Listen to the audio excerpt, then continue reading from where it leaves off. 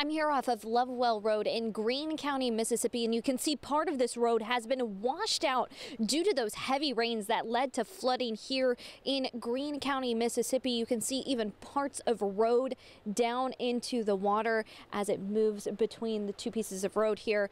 Several inches of rain fell in just a short amount of time here in Mississippi. Parts of roads have been closed off due to flooding as well as um, the sheriff's office had to make multiple rescues overnight into early this morning. Highway 42, not far from where we are right now, is partially closed off to traffic. Uh, it's down to one lane of traffic only. There's still water over the roadway. They don't know if the road is structurally safe right now. Uh, they're waiting for that water to, to go back down before they can decide whether or not that road will need repairs. In Greene County, Nicolette Schleisman, WKRG News 5.